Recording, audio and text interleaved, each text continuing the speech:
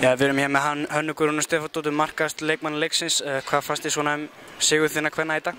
Herra, þetta var bara fýtt sigur og flott sigur og hérna, og ég, já, ég bara ánum að hafa náðið tvö stig en, en svo er þetta bara spurning með deildabyggarinn hérna á milli jól og nýjás hvort að þetta hefur dög okkur.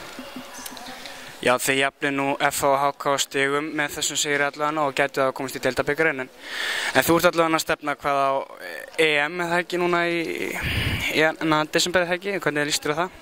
Jó, mér líst bara rosalega á það og ég er mjög spennt og við byrjum að æfa á hérna mánudaginn, landshópurinn og, og ég er bara rosalega spennt. Það er alltaf gaman að þegar maður er valin í landsliði og, og hérna og fyrir að æfa og, og hitta bara alla stelpunar og það er bara alveg snild sko.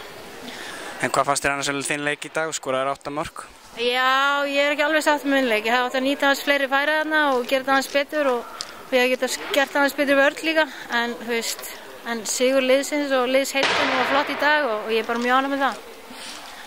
Hvernig líst þér annars á framaldi á stjórnustelpum? Nú eru þið hérna ætlið að stríða val og fram eitthvað frekar?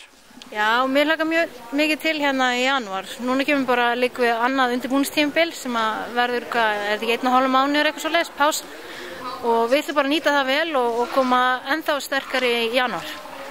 Takk að kella fyrir.